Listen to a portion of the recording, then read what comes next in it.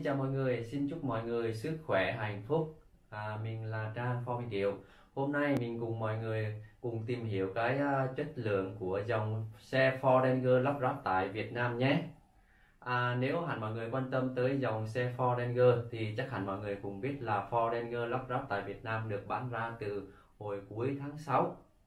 À, qua những uh, sự quan tâm thì cũng không ít khách hàng là băn khoăn và lo lắng không biết là chất lượng của xe Ford Ranger lắp ráp tại Việt Nam có bằng với xe nhập khẩu từ Thái Lan không? Và xe Ford Ranger lắp ráp tại Việt Nam có thay đổi mẫu mã thiết kế gì không? Thì video hôm nay Trang và mọi người cùng tìm hiểu cái uh, uh, thật là kỹ càng cái dòng xe Ford Ranger lắp ráp tại Việt Nam nhé. Và sau đây uh, mọi người cùng xem à, xem cái video ngắn này à, à, đó là chủ tịch à, tổng tổng giám đốc Ford Việt Nam ông Phạm Văn Dũng nói gì nhé xe Ford Ranger xuất xưởng của Việt Nam sẽ có chất lượng như thế nào so với xe nhập từ Thái Lan thưa ông có thể uh, khẳng định là xe uh, Ford sản xuất ở tất cả các nhà máy trên toàn cầu là có chất lượng uh, đồng nhất. Chúng tôi có thể khẳng định được như vậy dựa trên mấy cái cơ sở. Cái thứ nhất là cái quy trình sản xuất Ford đang áp dụng trên toàn cầu ở tất cả nhà máy là giống nhau.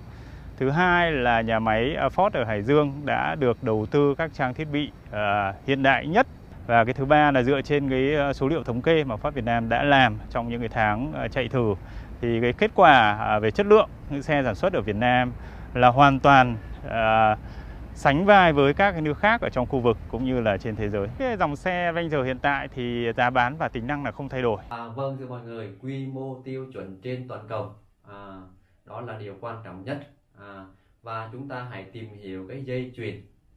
Dây chuyền công nghệ robot của à, Ford Ranger lắp ráp tại Việt Nam nha. Dây chuyền rất là tân tiến. Nếu mà so với à, dây chuyền của Ford Thái Lan thì dây chuyền ở Việt Nam cao cấp và tân tiến hơn à, bên Ford Ranger Thái Lan rất nhiều. Bởi vậy à, cái chất lượng hầu như là không thay đổi nha mọi người.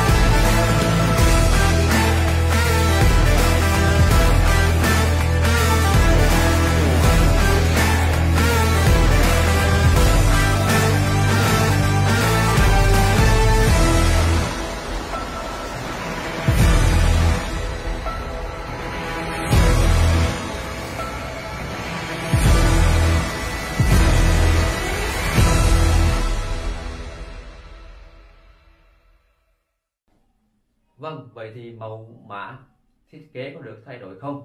À, thưa mọi người đó là có thay đổi một chút rất là ít.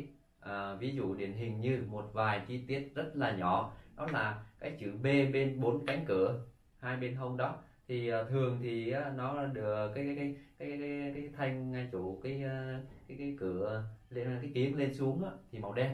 Thì nay được sơn cùng màu với lại màu sơn của xe cái thứ hai nữa là cái tay nắm cửa lên xuống ở trong xe. Thì có những phiên bản à, có và có những phiên bản không có. À, đó những thay đổi nhẹ nhẹ thôi.